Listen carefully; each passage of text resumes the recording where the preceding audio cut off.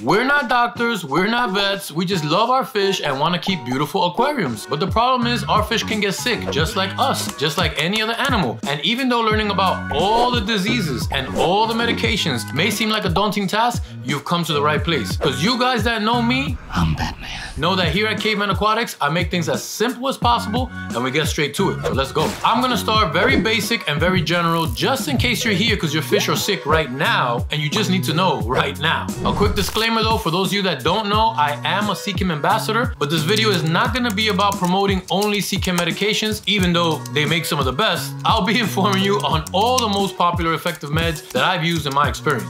Fish not eating, has stringy white poop, and sunken belly, most likely an internal parasite. Most common one is called hexamita.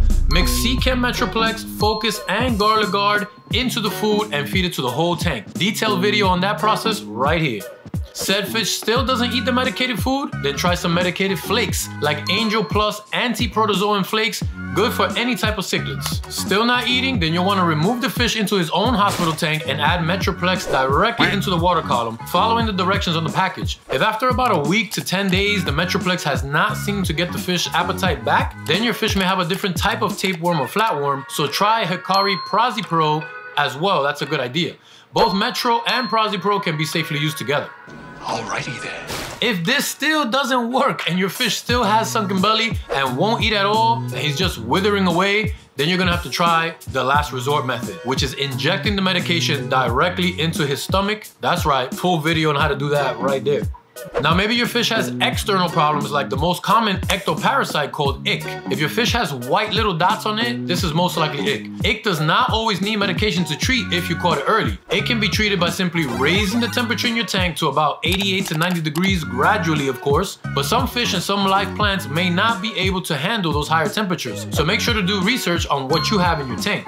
Raising the temperature speeds up the parasite's life cycle, causing it to fall off your fish faster when it's in this free life stage stage not attached to the host is when it can be killed. Adding aquarium salt can also be effective at killing the egg parasite in this stage. One tablespoon per five gallons usually does the trick. There is a great, great article in my Facebook group written by the mad scientist himself, Jeff Thompson, a veteran of the hobby and a moderator of the group with step-by-step -step instructions on how to tackle ick. Check it out at facebook.com slash groups slash kaveman aquatics. Don't worry, I'll have it linked in the description below. Once there, you can find it in the files tab. There are medications for treating ick as well, if you choose to go that route. We'll get into those meds in a bit. Okay, now that we got you guys' emergencies out of the way, let's really get into the meat and potatoes here. Oh my God, okay, it's happening.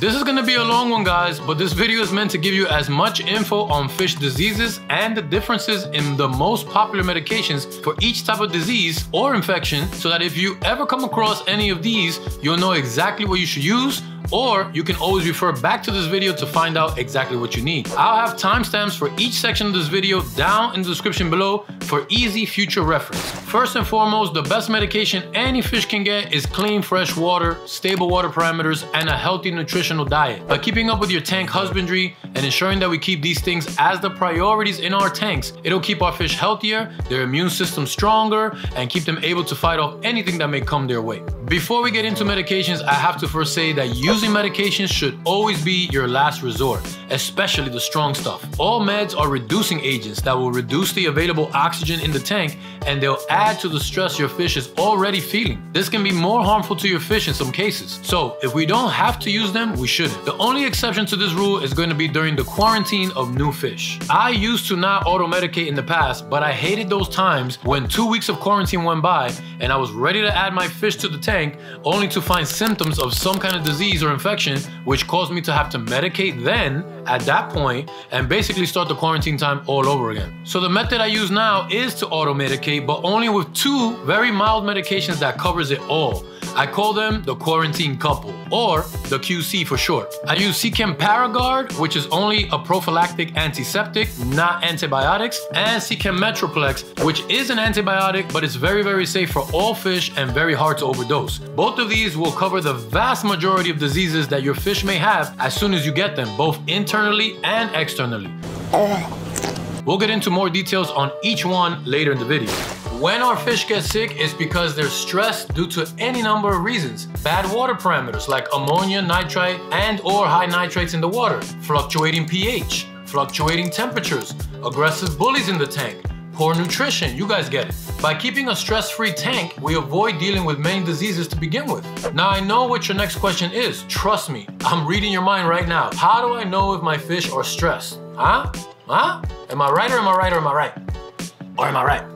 Well, I don't know, man. Don't worry, I got you. Some telltale signs of a stressed fish are clamped fins, keeping their fins pressed against their bodies, uh, sitting at the bottom of the tank on the substrate, hardly swimming or moving and looking lethargic, staying at the top of the tank and always gasping for air, mouth opening and closing very rapidly, and also flashing, which is when they're constantly rubbing their skin on the decor or on the substrate, basically trying to give themselves a quick little scratch. Constantly hemorrhaging or twitching, and of course, any visible spots on their bodies that shouldn't be there. Now, let's say you see some of these signs, we have to decide what's the best kind of treatment first. It isn't always just reach for some super strong meds and throw it in there. If the fish has torn and maybe shredded fins, Maybe he's just getting bullied. In this case, you may want to separate him into a hospital tank and just keep him in fresh, clean water and give him time to heal on his own. Seachem Stress Guard isn't necessarily a medication, but it can absolutely help in repairing those torn fins and prevent any infections while also helping to promote more slime coat production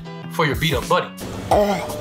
You may also consider treating with aquarium salt, which treats a wide range of bacterial, fungal, and external parasites. Aquarium salt is cheap and safer than a lot of medications, but you do have to be aware of how much salt your specific fish can tolerate. Remember, salt stays in the water and does not evaporate. It can only be diluted with water changes. Increasing temperature is another one. As previously mentioned, this can work in cases like ick. This is another form of non-medicated treatment. I just want to be sure and inform you that there are other ways of treating certain things before we get into reaching for the fish medicine cabinet.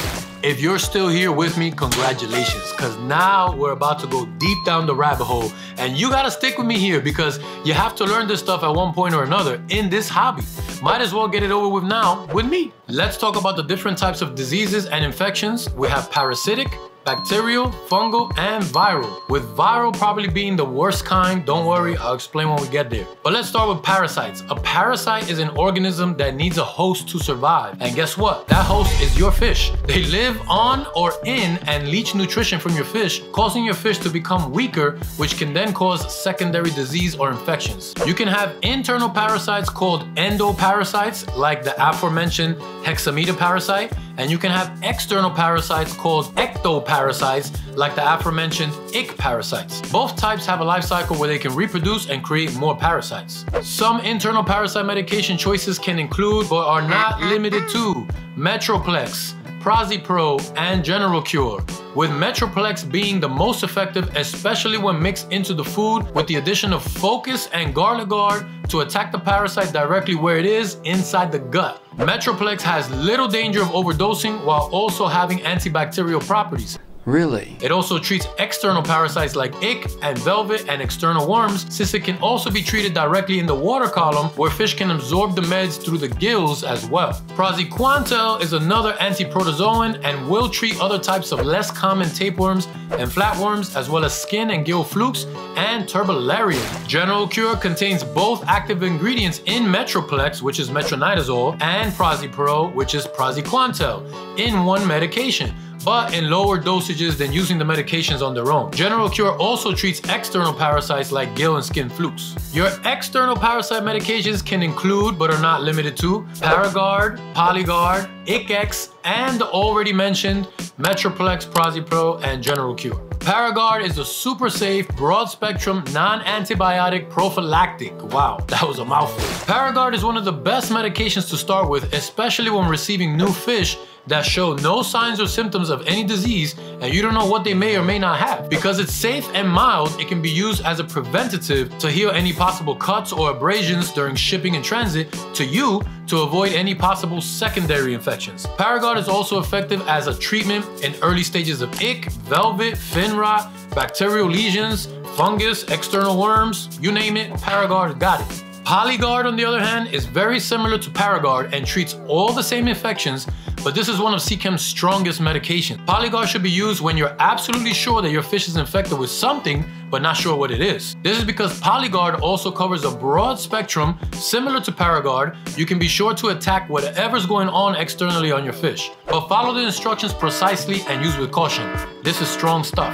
Hikari's Ich-X is one of the most popular ick medications on the market and can be used to combat ick. It uses a safe form of malachite green, making it easy on your biofilter bacteria and safe to use with invertebrates like loaches and cories. Cupramine is Seachem's specific stronger ick and velvet medication, but because it contains copper, cannot be used with invertebrates and plants. Although cupramine is bound by amine, making it less toxic to fish, than other ick medications. You must remove a UV and you cannot mix with other copper-based meds. When it comes to ick, as you see, there are many precautions you need to take when using these stronger meds, which is why I highly recommend using the increased temperature method. Again, the step-by-step -step guide is in my Facebook group files. But don't confuse ick treatment with velvet treatment. Even though the meds for both are similar, you do not want to raise temperatures when treating velvet. Keeping your tank lights off is also very beneficial with velvet infections. Hey, you still with me? We're we're at the seventh inning stretch. Hang in there, guys. Be strong. Let's go.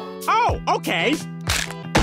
Now let's move on to bacterial and fungal infections. A great mild medication for bacterial and fungal infections is API's Melafix and Pimafix, with Melafix as an antibacterial and Pimafix as the antifungal. These are not antibiotics and can be used as a safe starting point when seeing symptoms in your fish. They will help in treating fin rot, eye cloud, mouth and body fungus, and the reddening of fins and the body. They can also promote regrowth of damaged fins and tissue. Best when you think a bacterial infection is present but not sure what it is. A step up stronger is API's Furan 2. This contains furan compounds to combat a wide variety of bacterial diseases, including bacterial gill disease, open red sores, body slime and eye cloud, columnaris, and fin and tail rot. Now, Seachem's Kanaplex is one hell of a drug. it's a strong antibiotic that's easily absorbed through the skin and the gills, treating a broad spectrum of both bacterial and fungal, internal and external infections. Highly effective in bacterial infections in which the fish won't eat. But Kanaplex can be mixed into the food as well, similar to Metroplex, if preferred to avoid medication affecting invertebrate. Use Kanaplex to treat tail and fin rot, popeye, bacterial lesions, septicemia, bloat, fungus, columnaris, cloudy eye, dropsy, it just treats it all. I really wish I could go into each one of these diseases with causes and symptoms, but that would make this like an hour long video. Uh, nobody's gonna watch that, and this video is already too long as it is. So research the symptoms that your fish is showing, and then come back here to find the suitable medications for it. So not finding success with either one of those medications, then try Seachem's Neoplex. Basically equivalent to Kanaplex, but a much, much stronger antibiotic medication. Again, follow the directions on the box. This viral infection category is gonna be super quick because meds cannot kill a virus. Just like when we get a cold, a cold is a virus. We get runny nose, sneezing and coughing, and all we can do is treat the symptoms but our bodies, our immune system is what has to kill the virus. Same thing for a fish with a viral infection. We can use any of the aforementioned medications to treat the symptoms only, but the fish itself has to eradicate the virus. We can help the fish by keeping them as healthy as possible and by practicing good preventative measures what are those? Well, before buying new fish, observe them and look for any physical signs of disease. If you spot any, avoid that entire tank, maybe even that entire store. Quarantine all new fish and treat with the QC. Paraguard and Metroplex is going to have you covered without overly medicating the fish. Keep your tank water clean and pristine with low nitrate levels. Keep your temperature consistent, keep your pH consistent, Swings in these two will cause stress that weakens their immune system. Keep an eye out for any aggression in the tank. Getting bullied is going to stress anyone out. And make sure that your fish are getting proper nutrition from a wide variety of foods. Adding supplements to your food to ensure they get the best nutrition goes a long way as well. What supplements do I speak of? Check that video out right there. And I'll see you on the other side. Peace.